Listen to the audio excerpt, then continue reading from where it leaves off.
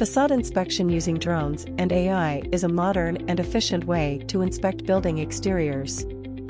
Here are 7 simple steps to a successful drone AI inspection. 1. Do on-site survey.